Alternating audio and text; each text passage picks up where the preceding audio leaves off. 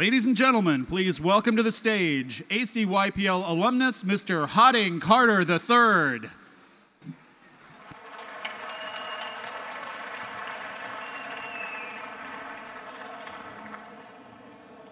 When I got here earlier, I looked out at the group and I said, My God, there's nothing that I can share. Because 50 years ago is, for some of you, uh, before your parents were born.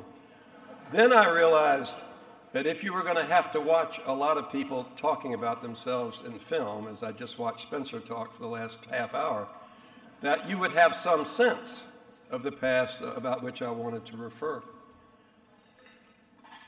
Those who started this organization were many sorts and conditions, not all of whom knew a damn thing about the world. Having listened to sen- two senators talking with great eloquence about the meaning of this place, you have to understand that if uh, a boy from Illinois and a boy from Kentucky felt cut off from the world in which we were operating, a boy from Mississippi was absolutely ignorant. And it was a great thing to discover that I was going to be working with people equally ignorant. And this is what you've got to know about stitching together the American Council of Young Political Leaders. This was not something which was a pattern which had been cut, as was often said by our enemies and friends, either by the agency across the river or by this or by that. It was something put together by people who honestly believed that young political leaders in the world in which we lived needed to know about the world in which we lived. Not from textbooks, which God knows many of us had studied, but from experience. And so it came together. And I'm not going to say much more about that because you've already been listening to people talking about it, but let me tell you that young political leaders meant what it said. This was not a benign group of nonpartisan do gooders. These were partisan Democrats and Republicans coming together for the national interest, and we thought we were coming together for the national interest. We fought like dogs. And because most of you don't know Spencer Oliver, you don't know what a dog he can be in a fight. And he did it with his usual happy warrior approach. And yet, at the end of all of that, what we had were a bunch of people who snarling and fighting and spewing and put together some of the damnedest, not only trips, but connections.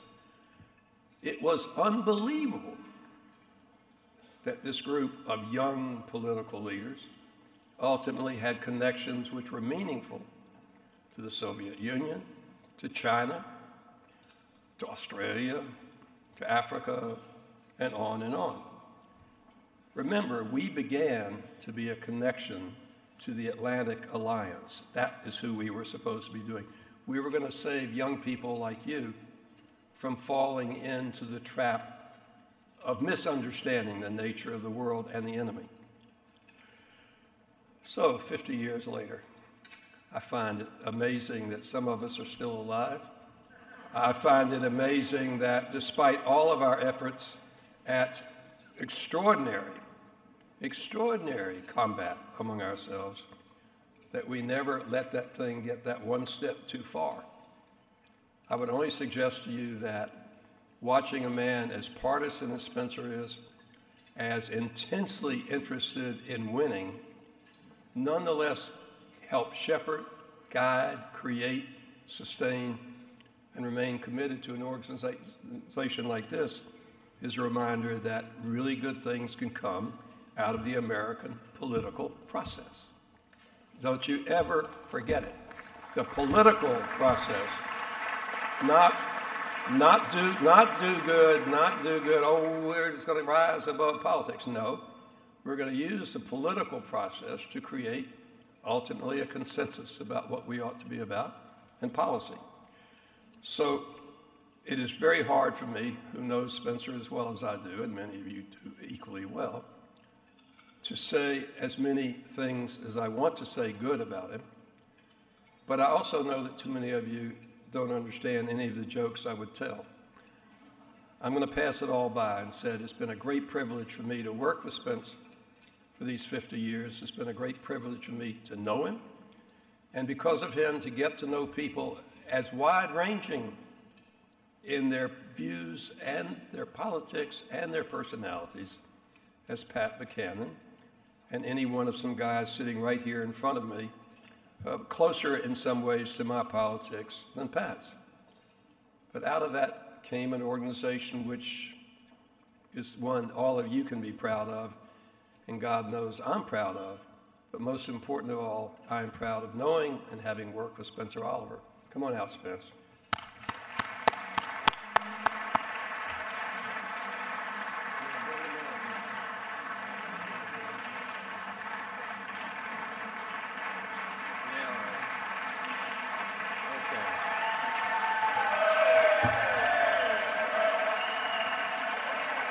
All right, all right.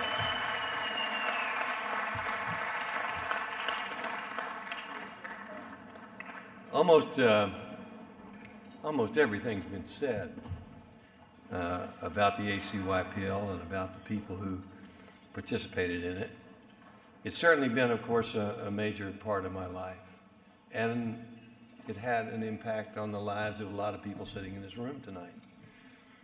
I didn't write a speech, but I wrote a bunch of cards that they told me you, if you have a senior moment, you can refer to your cards. But most of what I was going to say has already been said, either on the video or by some of the people who were here. But the ACYPL turned out to be almost exactly what I hoped it would be when I took a Ford Foundation grant in 1970 to spend a year of my life trying to get it off the ground. And that was a place where young American politicians, on their way up, could get an experience in another world abroad, another universe, add another dimension to their qualifications for higher office. And as we've seen tonight, Senator McConnell, Senator Durbin, former Senator Fowler, Governor Glenn Glendening, Governor List, We've had people who have come through this system at an early stage of their political careers, having an appreciation for what was beyond our borders, and also having an appreciation for bipartisan cooperation. The ACYPL is a model of bipartisan cooperation. Peter McPherson and I were the co-chairman of the delegate selection committee for about seven years, I think, when a lot of the people who are in this room went on young political leader trips. We always made sure there was an exact number of Republicans, an exact number of Democrats, and we always negotiated a little bit about what we were going to do and where we were going to go. And we also talked about, we had quotas in those days. You know, we, we started, we were there, some of the original quotas of women, elected officials, minorities, and McPherson and I used to argue all the time about who was going to be responsible for filling those quotas. But eventually, it turned out pretty well. And you can look at the people who have come through this program, not only Senator Durbin and Senator McConnell, Senator Fowler, but Steny Hoyer, my old and dear friend who's here tonight, and many others in the Congress, and Kevin McCarthy and Roy Blunt and Jim Clyburn, and you can go on down the line. But in the leadership of the Congress, there are many people who, at the early stage of their careers, actually had the opportunity to go somewhere beyond their imagination, beyond their borders, beyond their constituencies, and learn a little bit about foreign policy, about what the world was all about, and about why it was so important for Americans to have some grounding in foreign affairs and foreign policy. So the ACYPL has done that job, and I'm really delighted that we were able to do it. I am particularly proud of the exchange with the Soviet Union. It started at a time when the Cold War was at its height. I had taken this Ford Foundation grant to try to set up the ACYPL, and the only, only thing that we were affiliated with was the NATO Young Political Leaders, which every couple of years we would send delegations. Well, in the Democratic Party in the, in the late 60s, of course, there, were, there had been a scandal about the CIA controlling the National Student Association. You had the war in Vietnam. And they thought that when I tried to persuade some of my colleagues on the left that they should participate in this program, that it was some kind of a CIA front and that it was, and they didn't want any part of it or, you know, NATO war, this and that. So we needed to find a way to get around that. So one evening, I went to a reception at Georgetown Club with my father. Uh, I think it was a fundraiser for John Dingell. And in, the, in this reception, someone came over and, and, and introduced me to a Soviet diplomat. I'll never forget him. His name was uh, Valerian Nesterov. And he said, What do you do? And I told him I was the executive director of the American Council of Young Political Leaders. And he said, Well, what is that? And a, light went off in my head. And I said, Well, it's a program where all of the young political leaders in the United States are going to get to know all the other young political leaders around the world. And in effect, I could see him looking at this thinking, this is a conspiracy against us. So he said, Well, why don't you do that with the Soviet Union? I said, Oh, you guys would never do that. You'd never let us in. You'd never send, you know, you'd never let us take people to see the real United States. And, you know, just be hopeless. Well, I'm not so sure about that, he said. I'd like to talk to you about it because he saw that suddenly we were going to compete with the whole Comintern to try to bring all of the young political leaders around the world into our orbit and out of theirs. So I went to the State Department the next day and said, What if we did an exchange with the Soviet Union? And they said, Oh, Spencer, they'll never do it. They said, We have this exchange agreement, cultural exchange agreement, and every year we negotiate what we're going to do over the next two years. And we propose certain things, and they they take it into consideration. They come back six months later and say, Niet.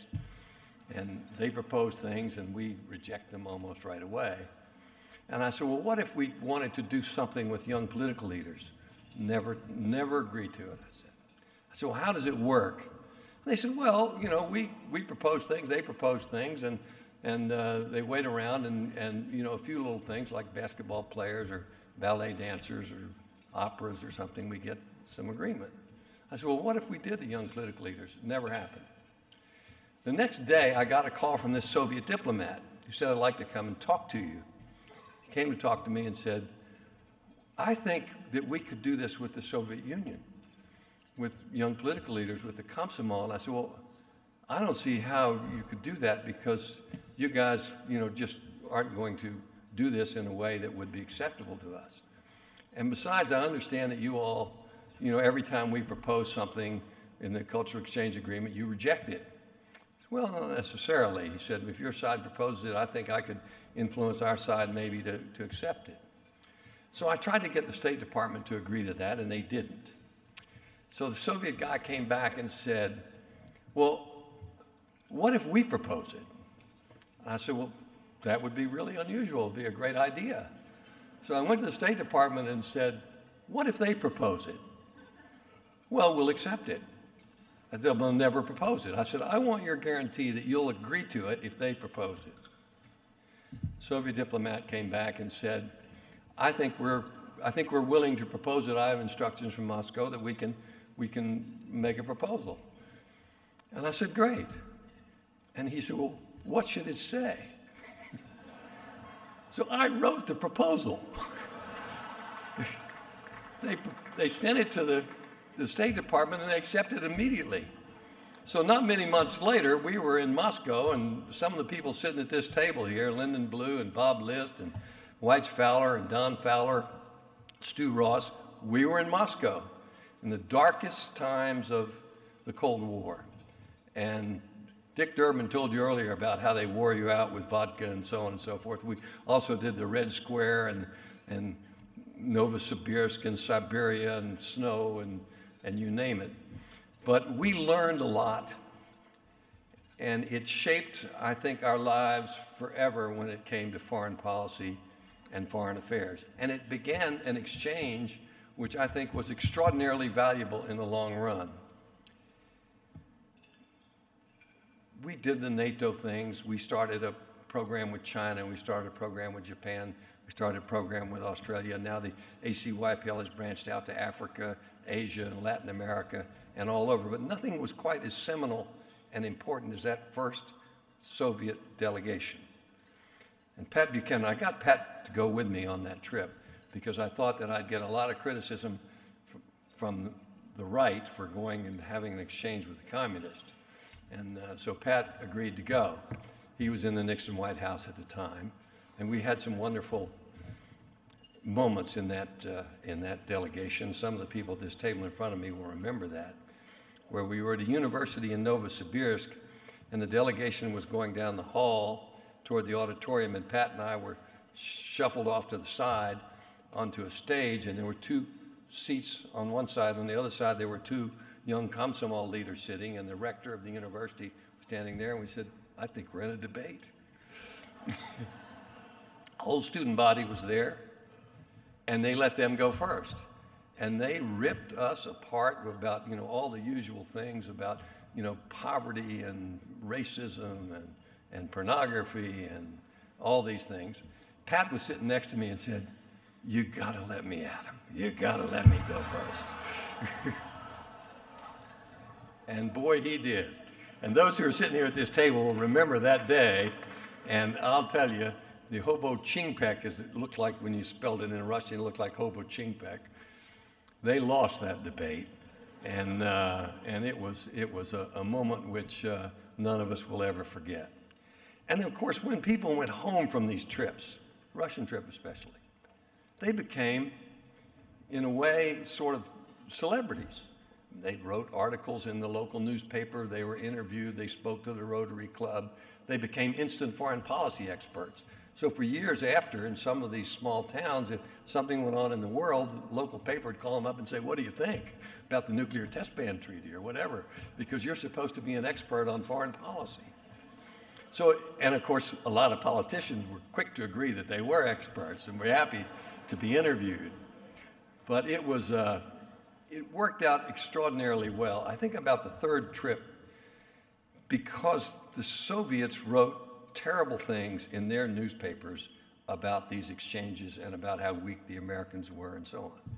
And our guys went home, guys and gals, it wasn't just all guys, and wrote articles and were interviewed about how terrible the Soviet system was. And you know, so these, these embassies were reporting back and forth about what they were saying with each other. And about the third trip, I think, not remember exactly when it was, but I had to leave early to do something. And I went to Moscow, and my counterpart was a man named Gennady Yanayev, who was at one point vice president of the Soviet Union and uh, vice president of Russia and acting president for about three days. Uh, but he we had a dinner, and he said, I want, I want there to be, he said, your people are saying terrible things about us in the American press and the American newspapers.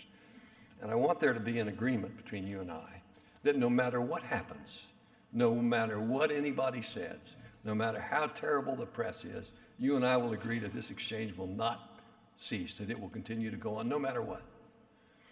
I said, agreed with that because for him, it was the best patronage that they had.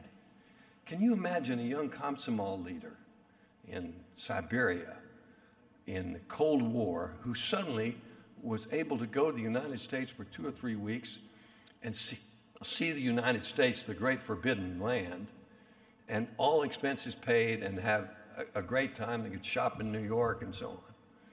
They did not want to give up that patronage. And we didn't want to give up our opportunity to try to educate young Americans about how bad that system really was and about what it was all, what it was, uh, what it was all about. And when they came to the United States, Governor List is sitting here at the table, and he was on the first delegation. And we had a, we always negotiated where people were going to go on the next trip. I was in Moscow, and they, we were negotiating about where the next Soviet delegation would go.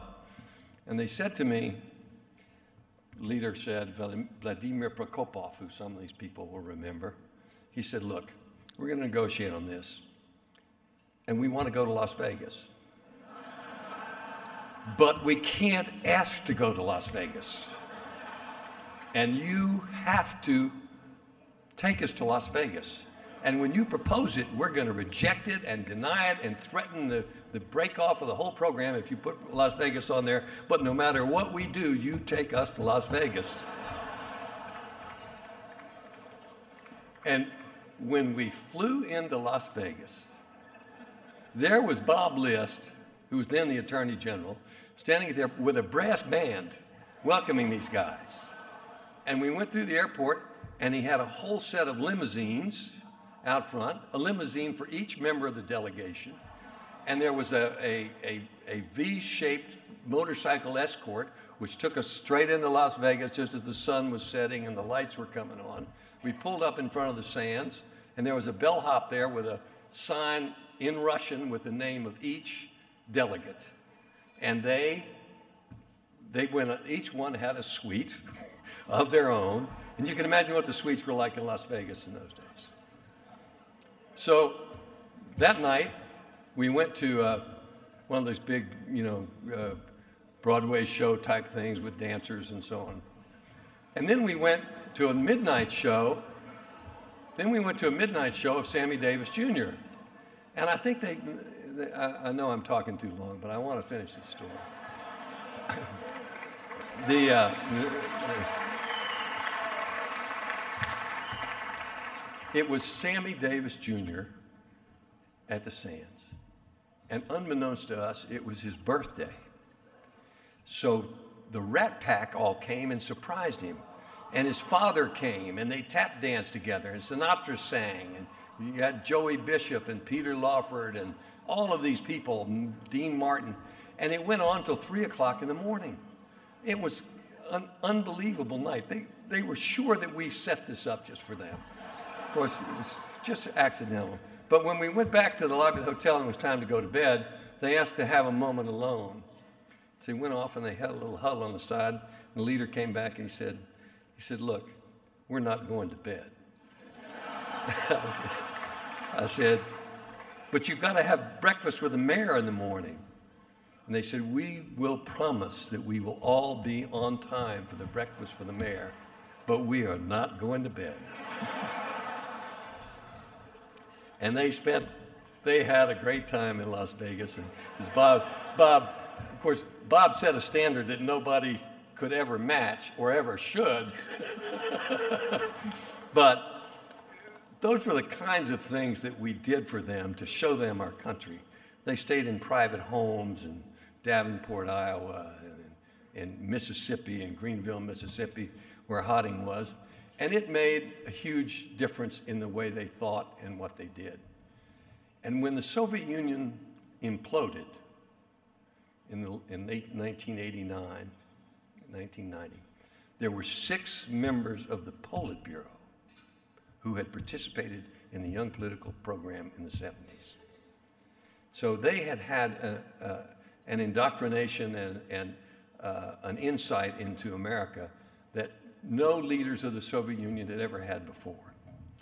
And after the Soviet Union split up into 15, 15 republics became 15 separate countries, many of these people who had been in that program became presidents and prime ministers and Speaker of the House. They were in Latvia, Lithuania, Estonia, Moldova.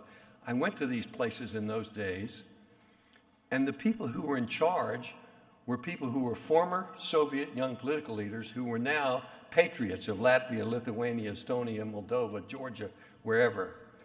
And it made a huge difference. Many of these countries are now in NATO, others are, will soon be in NATO. So I think we had an impact. It was a, it was a two way street. I never expected it would be a two way street. I was trying to get Americans out and to see the world.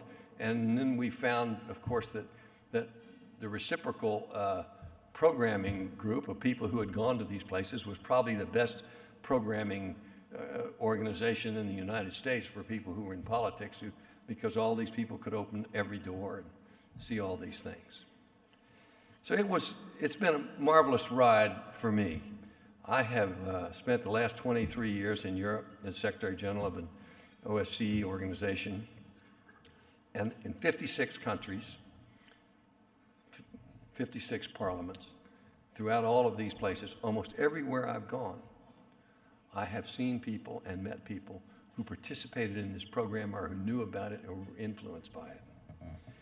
And just to close, last year I was in Moscow. We went there every year for a, bilateral with the President of the Parliamentary Assembly and me. I was the Secretary General. We would always meet with the, with the Speaker of the Parliament and the Foreign Minister and the head of the Federation Council. Well, last year, the head of the Federation Council was a woman named Valentina Matvienko. And I remembered her from a young political leader trip. And we sat down in the usual cross the table from each other, and she said, Have we met before? I said, Yes. She said, I thought so. Then we went on with a meeting with the usual stuff, talking about Ukraine and so on. And as we were leaving, she said, Where did, shaking hands at the door, she said, Where did we meet? I said, We met when you came to the United States in 1976, and I took you around the country with your delegation. She said, I, I remember that. That was so wonderful. Thank you so much. And then as we, we left, we walked down a long hallway toward the elevator. And this woman, she is the second most powerful woman person in this in Russia. She is number two to Putin. In ter- if he died, she'd be president. She came bounding down the hall, grabbed me, and said, "That trip changed my life.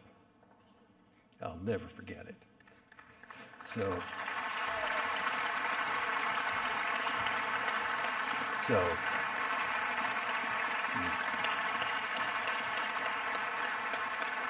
so for me, that made a lot of this worthwhile. So I want to thank all of my friends, my colleagues, my Republican colleagues who made this happen Peter McPherson, Randy Teague, Judy Black, and others. We made it bipartisan all the way and we made it work. Might be a good idea to remember that these days but it was something that uh, affected my life, changed the path of which direction I was going to go, and gave me great satisfaction to participate in the life of this country abroad and, and in international affairs. And most importantly, I made a lot of friends. And a lot of you made a lot of friends with each other, Republicans and Democrats across the aisle, traveling with each other and meeting each other. So it was a very wonderful experience. And I want to thank you for it. I want to thank Linda Rotunno and her great staff for putting this thing together.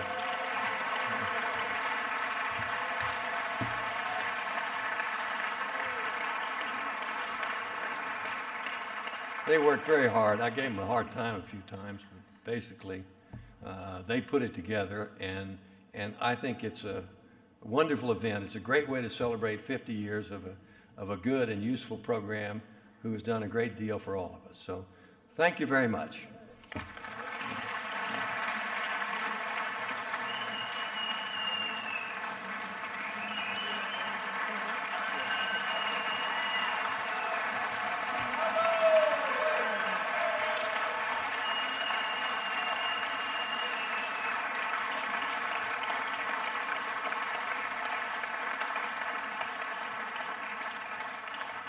Spencer, I can honestly say it's because of you. I have some very good Republican friends.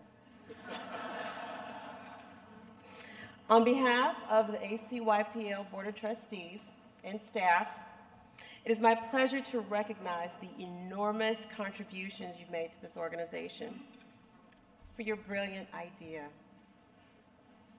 for your belief that bipartisanship should always be at the center of what we do, for your relentlessness in convincing the Ford Foundation and Hank Greenberg and Congressman Fascell and the State Department that ACYPL was worth investing in.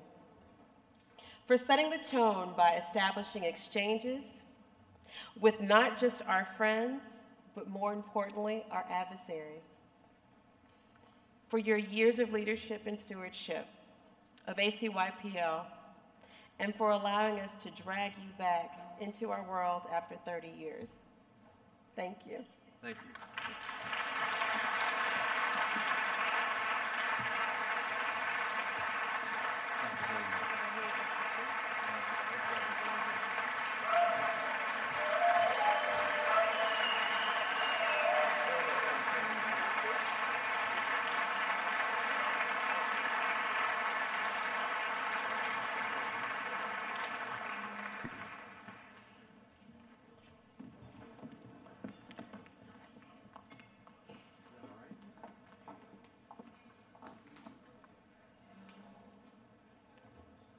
Ladies and gentlemen, please welcome to the stage ACYPL alumnus and American Council of Young Political Leaders Chairman of the Board of Trustees, Rick Smotkin. All right. Well, that's going to be quite the act to follow, so I am going to be very quick. But um, I just really want to thank everyone for being here tonight to celebrate such a special occasion and something that means so much to so many of us. And I want I won't make everyone sing happy birthday, but I would like to propose a toast. So I want to bring a shot of tequila up here, but I went with the beer to be a little more appropriate. But if everyone could raise their glasses to Spencer and to all the ACYPL trailblazers for turning such a brilliant idea into a lasting legacy. To leaders McConnell and Durbin for their outstanding leadership and their continued commitment to this mission, to the State Department for 50 years of partnership, to our corporate and foundation partners for your continued generous investment. Without it, this would not be possible. Um, to all of the amazing alumni in this room, around the country, and around the globe for everything you have done. To my fellow board members, and a special thanks to Brian. I think Brian Diffel is sitting somewhere over there. Please wave, Brian. Your efforts the last six months have been tireless. You've done yeoman's work to keep us focused, to hit our targets. So thank you so much for that. And to 50 years of just amazing, often surprising friendships and partnerships across the political spectrum and around the world. And here I'm going to go off script for just a minute. And I think those words, the surprising friendships, sum up what I'm going to who I'm going to give a special thanks to now. I was fortunate enough on my first trip to have Linda Rotunno, who Spencer so graciously talked about, um, as my escort.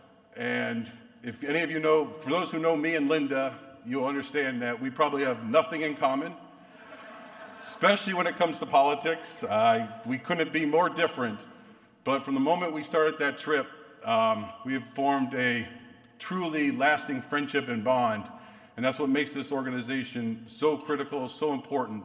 And with that, I know Linda's probably going to kill me. As you've noticed tonight, I mean, she's the only CEO of an organization who would not have some opportunity to speak, but that's how she works. She's tireless in her efforts and her dedication and commitment to this organization. So, with that, I want to do a special toast to Linda for all that she has done and will continue to do for this organization. And I know if I ask her to come out here, she won't, so I won't force her to come out here, but please, everyone, know how much she does for this organization. So thank you, Linda. And with that, one last toast to 50 more years of this great organization. Thank you, everyone, and enjoy dessert and conversation.